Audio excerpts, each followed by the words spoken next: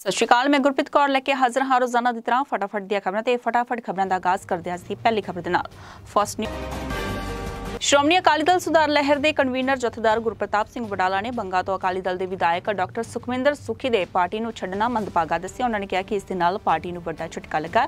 ਅਕਾਲੀ ਦਲ ਦੇ ਕੋਲ ਸਿਰਫ ਤਿੰਨ ਵਿਧਾਇਕ ਸਨ, ਜਿਨ੍ਹਾਂ ਦੇ ਵਿੱਚੋਂ ਮਨਪ੍ਰੀਤ ਸਿੰਘ ਯਾਲੀ ਨੇ ਵਿਧਾਨ ਸਭਾ ਚੋਣਾਂ ਦੇ ਵਿੱਚ ਨਿਰਾਸ਼ਾਜਨਕ ਹਾਰ ਦੇ ਕਾਰਨ ਬਣਾਈ ਗਈ ਚੁੰਦਾ ਕਮੇਟੀ ਨੂੰ ਲਾਗੂ ਕਰਨ ਦੀ ਮੰਗ ਕਰਦਿਆਂ ਪਾਰਟੀ ਗਤੀਵਿਧੀਆਂ ਤੋਂ ਪਹਿਲਾਂ ਹੀ ਦੂਰੀ ਬਣਾ ਲਈ।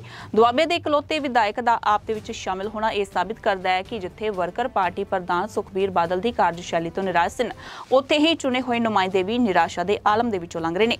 ਵਡਾਲਾ ਨੇ ਪਾਰਟੀ ਪ੍ਰਧਾਨ ਸੁਖਬੀਰ ਬਾਦਲ ਨੂੰ ਕਿਹਾ ਕਿ ਪਾਰਟੀ ਨੂੰ ਲੰਮੇ ਸਮੇਂ ਦੌਰਾਨ ਵੱਡੀਆਂ ਹਾਰਾਂ ਦਾ ਸਾਹਮਣਾ ਕਰਨਾ ਪਿਆ, ਜਿਸ ਦਾ ਕਾਰਨ ਸਮੁੱਚਾ ਪੰਥ ਜਾਣਦਾ ਹੈ। ਇਹਨਾਂ ਨਤੀਜਿਆਂ ਤੋਂ ਸਾਫ਼ ਪਤਾ ਲੱਗਦਾ ਹੈ ਕਿ ਅਕਾਲੀ ਵਰਕਰ ਪਾਰਟੀ ਲੀਡਰਸ਼ਿਪ ਦੇ ਵਿੱਚ ਬਦਲਾਅ ਚਾਹੁੰਦੇ ਨੇ।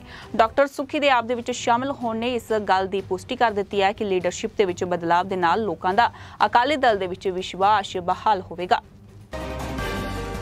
ਵਿਨੇਸ਼ ਫੋਗਾਟ ਮਾਮਲੇ ਤੇ ਸੀਏਐਸ ਦਾ ਵੱਡਾ ਫੈਸਲਾ ਹੈ ਦੱਸਦੀ ਕਿ ਪੈਰਿਸ 올림픽 ਦੇ ਵਿੱਚ ਅਯੋਗ ਕਰਾਰ ਦਿੱਤੇ ਜਾਣ ਤੋਂ ਬਾਅਦ ਵਿਨੇਸ਼ ਨੂੰ ਚਾਂਦੀ ਦਾ ਤਗਮਾ ਦੇਣ ਨੂੰ ਲੈ ਕੇ ਸੀਏਐਸ 'ਚ ਅਪੀਲ ਦਾਇਰ ਕੀਤੀ ਸੀ ਜਿਸ ਤੇ ਹੁਣ ਫੈਸਲਾ ਆ ਗਿਆ ਦਰਅਸਲ ਸੀਏਐਸ ਨੇ ਵਿਨੇਸ਼ ਦੀ ਅਪੀਲ ਨੂੰ ਰੱਦ ਕਰ ਦਿੱਤਾ ਇਸ ਦੇ ਨਾਲ ਭਾਰਤੀ ਮਹਿਲਾ ਪਹਿਲਵਾਨ ਦਾ ਓਲੰਪਿਕ ਤਗਮਾ ਜਿੱਤਣ ਦਾ ਸੁਪਨਾ ਚਕਨਾਚੂਰ ਹੋ ਗਿਆ। ਭਾਰਤੀ ਮਹਿਲਾ ਪਹਿਲਵਾਨ ਵਿਨੇਸ਼ ਫੋਗਾਟ ਨੂੰ ਪੈਰਿਸ 올림픽 2024 ਦੇ ਲਈ 50 ਕਿਲੋਗ੍ਰਾਮ ਫ੍ਰੀ ਸਟਾਈਲ 골ਡ ਮੈਡਲ ਮੈਚ ਦੇ ਲਈ 100 ਗ੍ਰਾਮ ਜ਼ਿਆਦਾ ਵਜ਼ਨ ਦੇ ਕਾਰਨ ਅਯੋਗ ਕਰਾਰ ਦਿੱਤਾ ਗਿਆ ਸੀ ਅਤੇ ਇਸ ਫੈਸਲੇ ਤੋਂ ਬਾਅਦ ਜਿੱਥੇ ਭਾਰਤੀ 올림픽 ਸੰਘ ਨੇ ਸਖਤ ਇਤਰਾਜ਼ ਜਤਾਇਆ ਸੀ, ਵਿਨੇਸ਼ ਫੋਗਾਟ ਨੇ ਇਸ ਫੈਸਲੇ ਨੂੰ ਲੈ ਕੇ ਸੀਏਐਸ ਨੂੰ ਅਪੀਲ ਕੀਤੀ ਸੀ ਕਿ ਉਸ ਨੂੰ ਘੱਟੋ ਘੱਟ ਸਿਲਵਰ ਮੈਡਲ ਦਿੱਤਾ ਜਾਵੇ, ਜਿਸ ਤੇ ਸੀਏਐਸ ਨੇ ਹੁਣ ਫੈਸਲਾ ਕੀਤਾ ਤੇ ਉਹਨਾਂ ਨੇ ਵਿਨੇਸ਼ ਫੋਗਾਟ ਦੀ ਇਸ ਅਪੀਲ ਨੂੰ ਖਾਰਜ ਕਰ ਦਿੱਤਾ। ਤੇ ਉਹਨਾਂ ਨੂੰ ਅ, ਚਾਂਦੀ ਦਾ ਤਗਮਾ ਦੇਣ ਤੋਂ ਵੀ ਇਨਕਾਰ ਕਰ ਦਿੱਤਾ ਹੈ।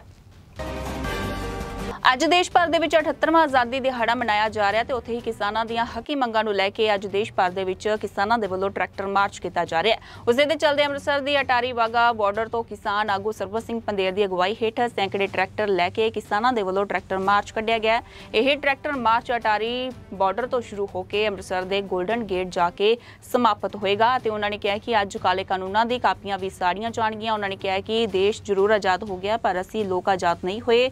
ਅਸੀਂ ਅੱਜ ਵੀ ਇਹਨਾਂ ਸਰਕਾਰਾਂ ਦੇ ਗੁਲਾਮ ਹਾਂ ਤੇ ਅਸੀਂ ਜਿਸ ਦਿਨ ਆਜ਼ਾਦ ਹੋਵਾਂਗੇ, ਉਸ ਦਿਨ ਸਾਡਾ ਆਜ਼ਾਦੀ ਦਿਹਾੜਾ ਹੋਵੇਗਾ।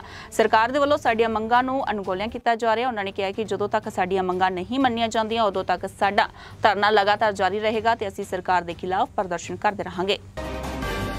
ਸੁਤੰਤਰਤਾ ਦਿਵਸ ਦੇ ਮੌਕੇ ਤੇ ਉੱਤਰ ਪ੍ਰਦੇਸ਼ ਦੇ ਹਾਥਰਸ ਜ਼ਿਲ੍ਹੇ ਦੇ ਸਿਕੰਦਰ ਰਾਓ ਕਸਬੇ ਦੇ ਵਿੱਚ ਇੱਕ ਦਰਦਨਾਕ ਹਾਦਸਾ ਵਾਪਰਿਆ, ਜਿਸ ਦੇ ਵਿੱਚ 19 ਸਾਲਾ ਨੌਜਵਾਨ ਦੀ ਮੌਤ ਹੋ ਗਈ ਹੈ। ਨੌਜਵਾਨ ਤਿਰੰਗਾ ਝੰਡਾ ਲਹਿਰਾਉਣ ਦੇ ਲਈ ਆਪਣੀ ਦੁਕਾਨ ਦੀ ਛੱਤ ਤੇ ਚੜਿਆ ਸੀ, ਪਰ ਅਚਾਨਕ ਉਹ ਹਾਈ ਟੈਂਸ਼ਨ ਪਾਵਰ ਲਾਈਨ ਦੀ ਲਪੇਟ ਵਿੱਚ ਆ ਗਿਆ ਤੇ ਬਿਜਲੀ ਦਾ ਕਰੰਟ ਲੱਗਣ ਦੇ ਨਾਲ ਉਹ ਛੱਤ ਤੋਂ ਹੇਠਾਂ ਡਿੱਗ ਗਿਆ ਤੇ ਉਸ ਨੂੰ ਤੁਰੰਤ ਨਜ਼ਦੀਕੀ ਹਸਪਤਾਲ ਲਿਜਾਇਆ ਗਿਆ, ਪਰ ਡਾਕਟਰਾਂ ਨੇ ਉਸ ਨੂੰ ਮ੍ਰਿਤਕ ਐਲਾਨ ਕਰ ਦਿੱਤਾ। ਇਸ ਘਟਨਾ ਦੇ ਨਾਲ ਪਰਿਵਾਰ ਅਤੇ ਆਂਢ ਗੁਆਂਢ ਦੇ ਵਿੱਚ ਸੋਗ ਦੀ ਲਹਿਰ ਪਾਈ ਜਾ ਰਹੀ ਹੈ ਤੇ ਪਰਿਵਾਰਕ ਮੈਂਬਰਾਂ ਦਾ ਰੋ ਰੋ ਕੇ ਬੁਰਾ ਹਾਲ ਹੋਇਆ ਪਿਆ ਹੈ। ਪਰਿਵਾਰਕ ਮੈਂਬਰਾਂ ਨੇ ਹਾਈ ਟੈਂਸ਼ਨ ਲਾਈਨਾਂ ਦੇ ਸੁਰੱਖਿਅਤ ਪ੍ਰਬੰਧਾਂ ਨੂੰ ਲੈ ਕੇ ਨਗਰ ਪਾਲਿਕਾ ਅਤੇ ਲਾਪਰਵਾਹੀ ਦਾ ਦੋਸ਼ ਲਗਾਇਆ ਹੈ। ਪੰਜਾਬੀ ਗਾਇਕ ਮਨਕੀਰਤ ਔਲਖ ਅੱਜ ਲੁਧਿਆਣਾ ਵਿਖੇ ਵਿਸ਼ੇਸ਼ ਤੌਰ ਤੇ ਪਹੁੰਚੇ ਨੇ। ਮਨਕੀਰਤ ਦੇ ਨਾਲ ਲੁਧਿਆਣਾ ਤੋਂ ਕਰੀਬ 400 ਬਾਈਕ ਸਵਾਰਾਂ ਦੀ ਟੀਮ ਵੀ ਸੀ ਅਤੇ ਜਿਨ੍ਹਾਂ ਨੇ ਪੂਰੇ ਸਾਊਥ ਸਿਟੀ ਵਿੱਚ ਘੁੰਮ ਕੇ ਤਿਰੰਗੇ ਝੰਡੇ ਨੂੰ ਸਲਾਮੀ ਦਿੱਤੀ ਹੈ ਤੇ ਮਨਕੀਰਤ ਨੇ ਕਿਹਾ ਕਿ ਅੱਜ ਰੈਲੀ ਦਾ ਪੂਰਾ ਚੱਕਰ ਲਗਾ ਕੇ ਸ਼ਹੀਦਾਂ ਨੂੰ ਸ਼ਰਧਾਂਜਲੀ ਦਿੱਤੀ ਗਈ ਹੈ। ਮਨਕੀਰਤ ਔਲਖ ਨੇ ਕਿਹਾ ਕਿ ਇਹ ਸੁਤੰਤਰਤਾ ਦਿਵਸ ਦਾ ਤਿਉਹਾਰ ਹੈ। ਸਾਡੇ ਦੇਸ਼ ਵਾਸੀਆਂ ਨੂੰ ਆਜ਼ਾਦੀ ਦਿਵਸ ਧੂਮਧਾਮ ਦੇ ਨਾਲ ਮਨਾਉਣਾ ਚਾਹੀਦਾ ਨੌਜਵਾਨਾਂ ਨੂੰ ਨਸ਼ਿਆਂ ਤੋਂ ਦੂਰ ਰਹਿ ਕੇ ਪੰਜਾਬ ਦੀ ਜਵਾਨੀ ਨੂੰ ਬਚਾਉਣਾ ਚਾਹੀਦਾ ਮਨਕੀਰਤ ਨੇ ਦੱਸਿਆ ਕਿ ਉਹ ਖੁਦ ਵੀ ਬਾਈਕ ਚਲਾਉਣਾ ਪਸੰਦ ਕਰਦੇ ਨੇ। ਬਾਈਕ ਸਵਾਰਾਂ ਨੇ ਲਗਭਗ 15 ਤੋਂ 20 ਕਿਲੋਮੀਟਰ ਤੱਕ ਰਾਈਡਿੰਗ ਕਰਕੇ ਆਜ਼ਾਦੀ ਦਿਵਸ ਨੂੰ ਵੱਖਰੇ ਤਰੀਕੇ ਨਾਲ ਮਨਾਇਆ ਤੇ ਮਨਕੀਰ ਤੌਲਖ ਨੇ ਆਪਣੇ ਪ੍ਰਸ਼ੰਸਕਾਂ ਦੇ ਲਈ ਕੁਝ ਗੀਤ ਵੀ ਗਾਏ। ਪੰਜਾਬ ਦੇ ਵਿੱਚ ਹੁਣ ਚਾਰ ਨਹੀਂ, ਸਗੋਂ ਪੰਜ ਵਿਧਾਨ ਸਭਾ ਸੀਟਾਂ ਉੱਤੇ ਜਿਮਨੀ ਚੋਣਾਂ ਹੋਣ ਜਾ ਰਹੀਆਂ ਨੇ, ਕਿਉਂਕਿ ਸ਼੍ਰੋਮਣੀ ਅਕਾਲੀ ਦਲ ਦੇ ਬੰਗਾ ਤੋਂ ਵਿਧਾਇਕ ਡਾਕਟਰ ਸੁਖਵਿੰਦਰ ਸੁਖੀ ਆਮ ਆਦਮੀ ਪਾਰਟੀ ਦੇ ਵਿੱਚ ਸ਼ਾਮਿਲ ਹੋ ਗਏ ਨੇ। ਉਹ ਮੁੱਖ ਮੰਤਰੀ ਭਗਵੰਤ ਮਾਨ ਦੀ ਅਗਵਾਈ ਦੇ ਵਿੱਚ ਆਮ ਆਦਮੀ ਪਾਰਟੀ ਦੇ ਵਿੱਚ ਸ਼ਾਮਿਲ ਹੋ ਗਏ ਨੇ। ਇਸ ਨੂੰ ਲੈ ਕੇ ਸ਼੍ਰੋਮਣੀ ਅਕਾਲੀ ਦਲ ਦੇ ਸੀਨੀਅਰ ਲੀਡਰ ਵਿਰਸਾ ਸਿੰਘ ਬਲਟੋਹਾ ਨੇ ਤੰਜ ਕੱਸਿਆ। ਉਹਨਾਂ ਨੇ ਕਿਹਾ ਕਿ ਵਾਹ, ਡਾਕਟਰ ਸੁਖੀ ਸਾਹਿਬ ਵਾਹ, ਤੁਸੀਂ ਤਾਂ ਇਹ ਦਾਵਾ ਕਰ ਰਹੇ ਹੋ, ਜਿਵੇਂ ਤੁਹਾਡੇ ਕਹਿਣ ਤੇ ਭਗਵੰਤ ਮਾਨ ਨੇ ਤਹਿਸੀਲਦਾਰ ਸਸਪੈਂਡ ਕਰਕੇ ਪੰਜਾਬ ਸਮੱਸਿਆ ਹੀ ਹੱਲ ਕਰ ਦਿੱਤੀ ਆ। ਵਲਟੋਹਾ ਨੇ ਲਿਖਿਆ ਕਿ ਹਾਂ, ਸੁਖੀ ਜੀ, ਹੁਣ ਲੱਗਦਾ ਹੈ ਕਿ ਹੱਥ ਗਰੀਬ ਵਿਦਿਆਰਥੀਆਂ ਦੇ ਐਸਸੀ ਸਕਾਲਰਸ਼ਿਪ ਵੀ ਭਗਵੰਤ ਮਾਨ ਤੋਂ ਜਾਰੀ ਕਰਵਾ ਦਿਓ। ਉਹ ਵੀ ਮਸਲਾ ਵਿਧਾਨ ਸਭਾ ਦੇ ਵਿੱਚ ਤੁਸੀਂ ਬਹੁਤ ਉਠਾਉਂਦੇ ਰਹੇ ਹੋ। ਹਾਂ, ਗਲਤੀ ਸਾਡੇ ਪ੍ਰਧਾਨ ਦੀ ਹੈ, ਜੋ ਐਵੇਂ ਤੁਹਾਡੇ ਵਰਗੇ ਤੁਰਦੇ ਫਿਰਦੇ ਨੂੰ ਭੂਏ ਚੜਾ ਦਿੰਦੇ ਨੇ।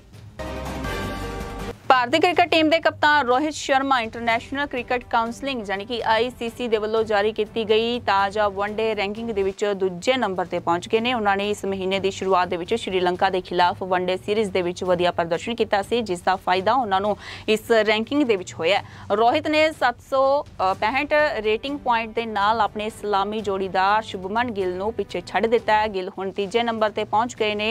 ਟੌਪ 10 ਦੇ ਵਿੱਚ ਤਿੰਨ ਭਾਰਤੀ ਸ਼ਾਮਿਲ ਨੇ। ਉੱਥੇ ਹੀ ਪਾਕਿਸਤਾਨ ਦੇ ਬਾਬਰ ਆਜਮ ਟੌਪ ਤੇ ਕਾਇਮ ਨੇ ਅਤੇ ਦੱਸਦੀ ਕਿ ਸ਼੍ਰੀਲੰਕਾ ਦੇ ਖਿਲਾਫ ਖੇਡੀ ਗਈ ਤਿੰਨ ਮੈਚਾਂ ਦੀ ਵਨਡੇ ਸੀਰੀਜ਼ ਦੇ ਪਹਿਲੇ ਮੁਕਾਬਲੇਬਾਜ਼ ਦੇ ਵਿੱਚ ਰੋਹਿਤ ਸ਼ਰਮਾ ਨੇ 58 ਦੌੜਾਂ ਦੀ ਪਾਰੀ ਖੇਡੀ ਸੀ ਅਤੇ ਫਿਰ ਦੂਜੇ ਵਨਡੇ ਦੇ ਵਿੱਚ ਉਹਨਾਂ ਨੇ 64 ਦੌੜਾਂ ਬਣਾਈਆਂ ਸਨ ਅਤੇ ਇਸ ਦੇ ਬਾਅਦ ਤੀਜੇ ਤੇ ਸੀਰੀ- ਸੀਰੀਜ਼ ਦੇ ਆਖਰੀ ਵਨਡੇ ਦੇ ਵਿੱਚ ਭਾਰਤੀ ਕਪਤਾਨ ਦੇ ਬੱਲੇ ਤੋਂ ਅ, 35 ਦੌੜਾਂ ਦੀ ਪਾਰੀ ਨਿਕਲੀ ਸੀ ਅਤੇ ਇਸ ਸੀਰੀਜ਼ ਦੇ ਵਿੱਚ ਵਿਰਾਟ ਕੋਹਲੀ ਤੋਂ ਲੈ ਕੇ ਬਾਕੀ ਲਗਭਗ ਸਾਰੇ ਭਾਰਤੀ ਬੱਲੇਬਾਜ਼ ਸੰਘਰਸ਼ ਕਰਦੇ ਨਜ਼ਰ ਆਏ ਸਨ ਪਰ ਰੋਹਿਤ ਨੇ ਕਮਾਲ ਦੀਆਂ ਪਾਰੀਆਂ ਨੂੰ ਅੰਜਾਮ ਦਿੱਤਾ ਸੀ।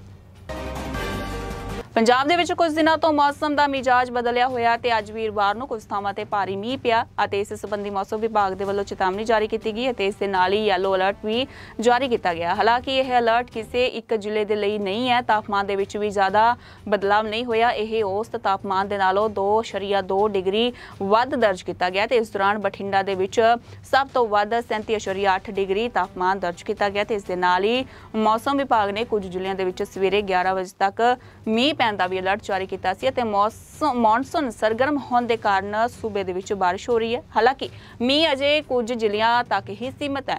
ਲੁਧਿਆਣਾ ਦੇ ਵਿੱਚ ਬੁੱਧਵਾਰ ਨੂੰ 66 ਅਸਰੀਆ 8 ਮਿਲੀਮੀਟਰ ਬਾਰਿਸ਼ ਦਰਜ ਕੀਤੀ ਗਈ। ਫਤਿਹਗੜ੍ਹ ਸਾਹਿਬ ਦੇ ਵਿੱਚ 3.0 ਮਿਲੀਮੀਟਰ ਅਤੇ ਮੋਹਾਲੀ ਦੇ ਵਿੱਚ 2.5 ਅ, ਮੀਂਹ ਦਰਜ ਕੀਤਾ ਗਿਆ। ਸੂਬੇ ਦੇ ਵਿੱਚ ਅਗਸਤ ਮਹੀਨੇ ਦੇ ਵਿੱਚ 82.7 ਮਿਲੀਮੀਟਰ ਮੀਂਹ ਪੈਂਦਾ ਹੈ ਤੇ ਪਰ ਫਿਲਹਾਲ 73.5 ਮਿਲੀਮੀਟਰ ਬਾਰਿਸ਼ ਹੋਈ ਹੈ ਤਾਂ ਦੋਵਾਂ ਵਿਚਾਲੇ 11% ਦਾ ਫ਼ਰਕ ਹੈ। ਅੱਜ ਦੀ ਫਟਾਫਟ ਦੀਆਂ ਖਬਰਾਂ ਦੇ ਵਿੱਚ ਬਸ ਇੰਨਾ ਹੀ। ਮੈਨੂੰ ਗੁਰਪ੍ਰੀਤ ਕੌਰ ਨੂੰ ਦਿਓ ਇਜਾਜ਼ਤ। ਧੰਨਵਾਦ।